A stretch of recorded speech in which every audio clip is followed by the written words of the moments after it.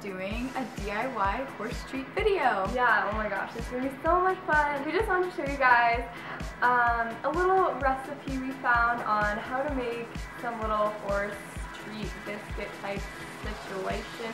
They're simple ingredients that you can basically find in your house and it's really easy to make.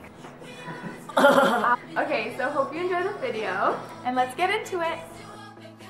Alright, so the first step is to preheat your oven to 350 degrees Fahrenheit. On to the ingredients. You'll need oats, flour, molasses, carrots, apples, salt, and water. In a large bowl, add one cup of oats. Oats. Otis. Then shred some carrots and apples so that it equals one cup and put it into the bowl. We recommend you skin the apple before shredding. Add one cup of flour into bowl.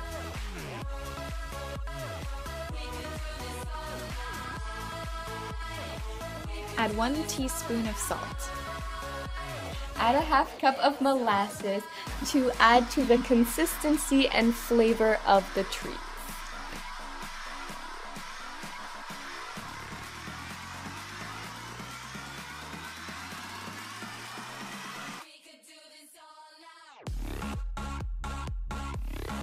Finally, the last ingredient is a quarter cup of water.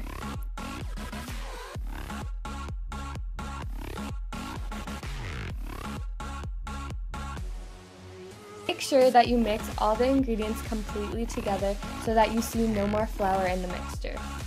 Once your dough looks like this, take out a baking sheet and roll out a piece of aluminum foil onto the sheet. We recommend that you grease the tin foil so that the cookies do not stick to the tin foil. Now with a spoon, take spoonfuls of the batter and lay it out onto the sheet, about 2 inches apart. Once all the batter is laid out, you can put the treats in the oven.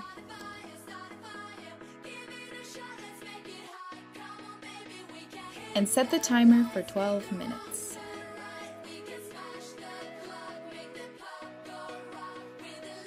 Once the timer is up, you can take them out of the oven and let them cool for about 5 minutes. This is the final product. Yeah, and they're so cute and bite-sized, and the cookies are just so adorable, and the horses really like them too, which is awesome. So like we said, these horse treats are super fun, easy, and super yummy. Our horses love them. So thanks for watching and we hope you try them out. Bye!